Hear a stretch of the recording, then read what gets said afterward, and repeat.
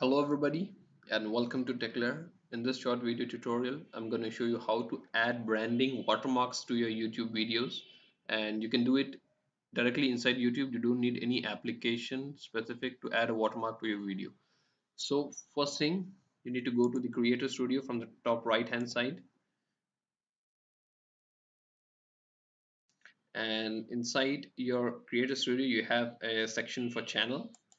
Just click on the channel and you can find a section for branding. Just click on branding. So here you can add a watermark directly. So if I click on add a watermark it will ask me to upload a picture.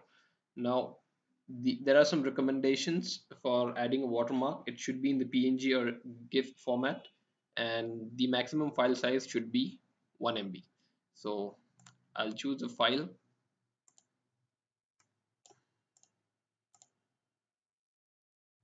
and I'll click on save. So here you can see the watermark which I have chosen and I'll again click on save.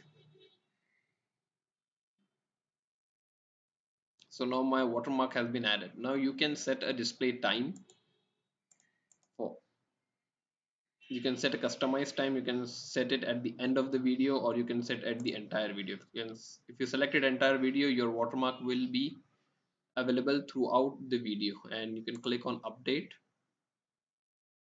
to make the changes. So in this way you add branding watermarks to your YouTube channel.